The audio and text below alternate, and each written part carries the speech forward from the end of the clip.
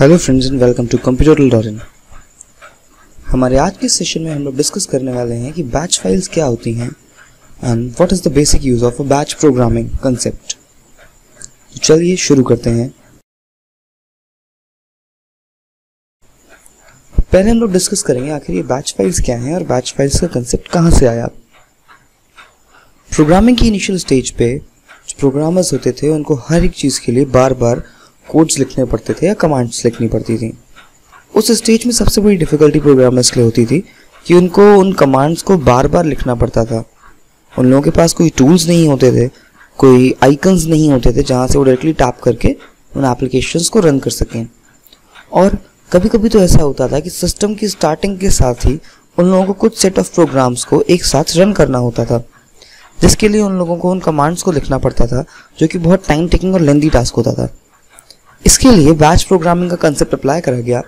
Batch programming में हम लोग क्या करते हैं we have some command line interface and that command line interface we simply type all or type our all commands that we want to run again and again फिर हम लोग उसको एक बैच फ़ाइल में स्टोर कर देते हैं और ये बैच फ़ाइल क्या करती है, जैसे ही हम लोग अपनी इस बैच फ़ाइल को एग्जीक्यूट कर देते हैं, ये अपने अंदर स्टोर सारी कमांड्स को, या सारे टास्क को उसी सीक्वेंस ऑर्डर में रन करने लगती हैं, जिससे कि यूज़र का टास्क बहुत आसान हो जाता है। हम लोग अपनी बैच फाइल्स बैच फाइल्स के थ्रू काफ़ी सारे ऑपरेशंस को परफॉर्म कर सकते हैं। For example you have to open a software और you want to show a popup message to your user और सपोज़ करिए आपके कंप्यूटर की एप्लीकेशन आपके कंप्यूटर के डिस्प्ले में से कोई पर्टिकुलर शॉर्टकट आइकन रिमूव हो गया है, और आप चाहते हैं कि वहाँ पे एक टेम्प्रेरी शॉर्टकट आइकन आ जाए उस एप्लीकेशन को एग्जीक्यूट करने के लिए। तो इन सारी सिचुएशंस के लिए हम लोग यूज़ कर सकते हैं बैच प्रोग्रामिंग का। तो चलिए, आगे देखते हैं कि हम लोग कैसे यूज़ करेंगे बैच प्रोग्रामिंग को। चलिए, अब हम लोग सीखेंगे कि हम लोग कैसे बनाते हैं बैच फाइल्स पहला कंसेप्ट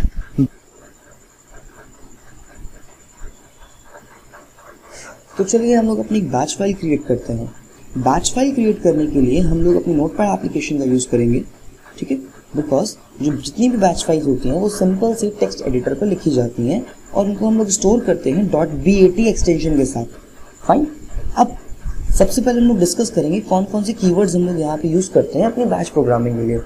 सबसे पहला कीवर्ड जो हम लोग यूज़ करते हैं बैच प्रोग्रामिंग के लिए इट इज़ एको अभी जो एको कीवर्ड होता है अगर इसको हम लोग ऐड के साथ यूज़ कर रहे हैं तो ये हम लोग के बैच प्रोग्रामिंग को इनिशलाइज करता है और ये डिस्प्ले में विंडो को होल्ड करने का काम करेगा। तो आपको लिखना है एट एको ऑफ़ आगे क्या करेंगे हम लोग?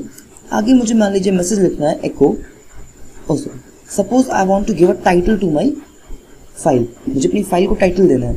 टाइटल कहाँ पर डिस्प्ले होगा? The title will will display the title bar of my page title bar of the page means the title bar of my command prompt तो जो वहाँ पे, इस जगह पे जो टेक्स्ट डिस्प्ले होगा, वो क्या होगा? टाइटल का टेक्स्ट होगा। तो मैंने लिखा title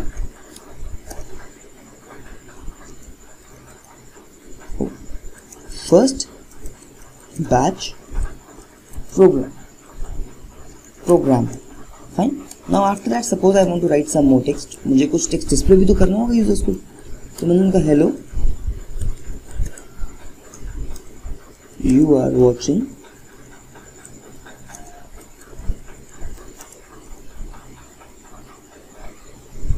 Computorial dot in fine अब होगा क्या? चलिए सेव करके देखते हैं।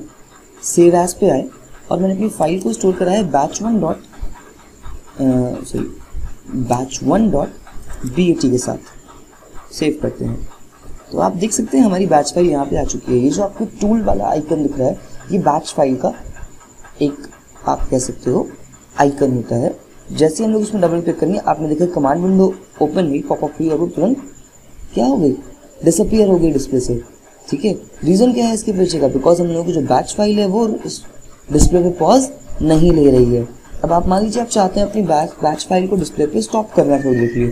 तो बस मुझे यहाँ पे एक और कमांड ऐड कर देना है। It is pause now let's see as you can see after giving this pause command my file is here on the display आप देख सकते हैं जो मैंने टाइटल में लिखा था एक बार मैं नोटपैड फ़ाइल ओपन करके आपको दिखा देता हूँ। चलिए देखते हैं साइड बाय साइड कंपेयर करके। जो मैंने टाइटल पे लिखा था, वो यहाँ पे विजिबल है। जो मैंने टेक्स्ट लिखा था एको के अंदर वो यहाँ विजिबल है। और उसके बाद क्योंकि मैंने उसको पॉज करा हुआ है, इसलिए क्या बोल रहा है? Press any key to continue now let's do a thing suppose I want user to see this message first now I want to ask him echo press any key to start paint program मैंने उससे कहा, कोई भी की press करो अगर आपको paint programme open करना है तो. फाइन फिर मैंने उसको कर दिया पॉज फिर मैंने कीवर्ड लिखा स्टार्ट अब यहाँ पे जो स्टार्ट कीवर्ड है बहुत इंपॉर्टेंट कीवर्ड है। अगर हम लोग को किसी भी फ़ाइल को, किसी भी फोल्डर को या किसी भी डायरेक्टरी को ओपन करना है, या किसी भी एप्लीकेशन को रन करना है एग्जीक्यूट करना है इसके लिए हम लोग यूज़ करते हैं स्टार्ट कीवर्ड का। आप स्टार्ट कीवर्ड के आगे जिस भी फ़ाइल का फोल्डर का पाथ असाइन करोगे, ये उस फ़ाइल को ओपन कर देगा। बट यहाँ पे ट्रिकी चीज़ है जो आपको याद रखनी है। ट्रिकी चीज़ क्या है? कि जब हम लोग डॉस कमांड्स की बात करते हैं, हम लोग कमांड प्रॉम्प्ट की बात करते हैं तो यहाँ पे कुछ एप्लीकेशन का अपना कस्टम नेम होता है। फॉर एग्ज़ाम्पल हम लोग डॉस की लैंग्वेज में एम एस वर्ड को कहते हैं विन वर्ड पेंट प्रोग्राम को कहते हैं पी ब्रश तो यहाँ पे मैं पेंट प्रोग्राम को लिखूँगा पी ब्रश फाइन अब इसको मैं क्या करूँगा सिंपली पॉज करके सेव कर दूँगा। फाइन चलिए देखते हैं क्या होता है। मैंने इस प्रोग्राम को ओपन करा। इसने बोला hello you are watching computer dot in press any key to continue मैंने प्रेस किया। इसने बोला press any key to start paint program मैंने प्रेस किया। और ये देखिए, ये क्या हुआ? पेंट प्रोग्राम सडनली मेरे डिस्प्ले पे ओपन हो गया। फाइन इसने पेंट प्रोग्राम ऑटोमेटिकली ओपन करा है। Suppose I want to add a few more codes है मैं चाहता था कि इसी तरीके से क्या करे? मेरा मोजला फायरफॉक्स ब्राउज़र ओपन कर दे या फिर एम एस वर्ड ओपन कर दे। तो चलिए हम लोग पहले एम एस वर्ड को ओपन करते हैं। मैंने क्या करा? मैंने इसे स्टार्ट की जगह पे आकर लिख दिया। मैंने पी ब्रश की जगह लिख दिया वेन वर्ड सेव करके देखते हैं क्या होता है।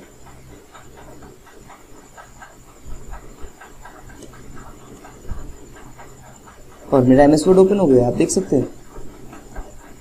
अगर इसी तरह से मुझे कोई और एप्लीकेशन ओपन करनी है तो मैं सिंपली उस एप्लीकेशन का यहाँ पे नाम दे दूँगा।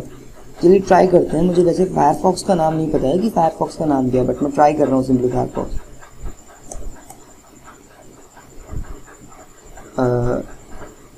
oh wow now as you can see इसने मेरा फायरफॉक्स ब्राउज़र भी ओपन कर दिया। ठीक है तो यहाँ से आपको क्लियरली समझ में आ रहा होगा कि आपको अगर कीवर्ड्स पता है इन प्रोग्राम्स के तो आप इजिली उन कीवर्ड्स के थ्रू अपने लिए बैच फ़ाइल क्रिएट कर सकते हैं। Suppose daily I want to open three applications at a time मुझे मान लीजिए डेली तीन एप्लीकेशन पे काम करना है और मुझे बार बार मेहनत करनी पड़ती है, मुझे एक एक एप्लीकेशन को ऑन करना पड़ता है। टाइम टेकिंग प्रोसेस होगा मेरे लिए। इसके लिए मैं क्या करूँगा? मैं सिंपल सी एक बैच फ़ाइल बनाऊँगा। चलिए आज मैं अपने लिए एक बैच फ़ाइल बनाता हूँ, जो मुझे सुबह सुबह रोज़ गुड मॉर्निंग विश करेगी। तो मैंने बैच फ़ाइल बनाई, मैंने लिखा एको सॉरी फ़र्स्ट मैंने टाइटल दिया. लेट से टाइटल भी वेलकम फिर मैंने लिखा echo good morning then suppose I want to change the line तो प्लेन लाइन कैसे चेंज करेंगे? फिर से एको लिखा मैंने, लिखा एको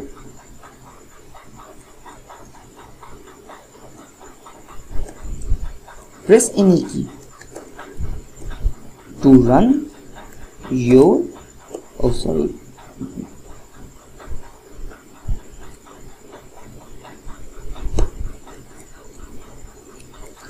applications फिर मैंने लिखा पॉज फिर मैंने लिखा start winword start Firefox start mm, notepad suppose and then I said pause and then exit. अब समझते हैं एग्जिट का मतलब क्या हुआ? जैसे ही मेरे ये तीनों प्रोग्राम ओपन हो गए फिर से मुझसे बोलेगा press any key to run the application और press any key to continue जैसे ही मैं उस पर क्लिक करूँगा, ये क्या करेगा? इसको एग्जिट कर देगा। एग्जिट कर देगा मतलब ये विंडो ऑटोमेटिकली क्लोज हो जाएगी, मुझे इसको क्लोज करने की रिक्वायरमेंट नहीं पड़ेगी। तो चलिए ट्राई करके देखते हैं, कैसे वर्क करता है ये। मैंने इसको फ़ाइल को सेव करा क्लोज करा और ओपन करा। इसने कहा good morning press any key to run your application मैंने प्रेस करा एंटर और एक, दो तो तीन सारी एप्लीकेशन ओपन हो गई। फाइन अब चलिए ज़रा वापस मुड़ के देखते हैं कि जो हमारा डॉस था इसमें क्या आ रहा है? इसमें देखिए, फिर से मैसेज आ रहा है press any key to continue मैंने प्रेस करा और ये क्या होगी एप्लीकेशन हमारी क्लोज हो गई. फाइन फ्रेंड्स जैसा कि आपको समझ में आया, इस तरह से हम लोग बैच प्रोग्रामिंग से और भी बहुत सारे टास्क कर सकते हैं. मैं आपको नेक्स्ट टाइम पे बताऊँगा कि बैच प्रोग्रामिंग के थ्रू आप एक फ़ाइल कॉपी करने वाला प्रोग्राम या एक सिस्टम शट डाउन करने वाला प्रोग्राम या इस तरीके के और मल्टीपल प्रोग्राम्स कैसे क्रिएट कर सकते हैं. तब तक का के लिए stay tune and subscribe my channel thank you friends